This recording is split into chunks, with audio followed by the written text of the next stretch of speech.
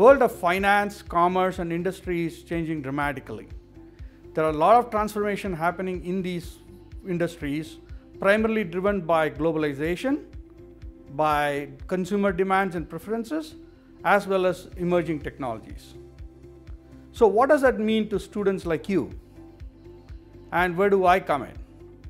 I, as a professor of practice and vice dean at the Jindal School of Banking and Finance, focus on the practical realities of how these transformations are going to impact you as a student, as well as teach you skills that will be relevant for you not just within the college, but as you graduate out of college.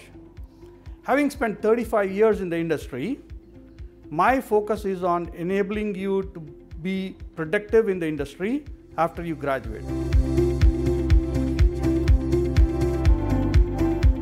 I teach courses that are of very practical nature. I teach courses on uh, business, effective business communication. I teach courses on uh, emerging technologies like artificial intelligence, robotics, for fintech and blockchain and how this impacts the business.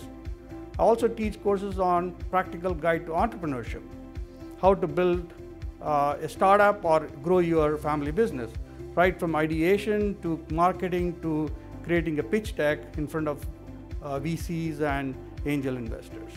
So I make the classes a lot more interactive and enabling students to understand in a practical way how to apply these methods and techniques in real life.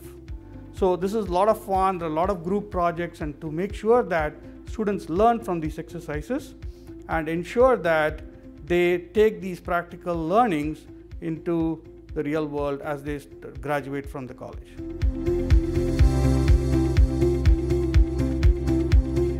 After completing our BCom honors, the Jindal School of Banking and Finance BCom honors program, a student can take uh, different streams of uh, profession, if you will.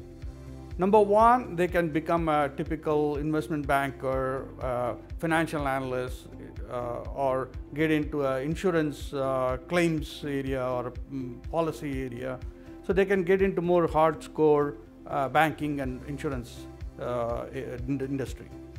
The second is they can think of going for higher studies. So whether they want to pursue a program in, as an MBA graduate or a law graduate or a, a MA in economics, uh, our foundational courses prepares you to be able to go uh, take up those co courses in a very rigorous fashion.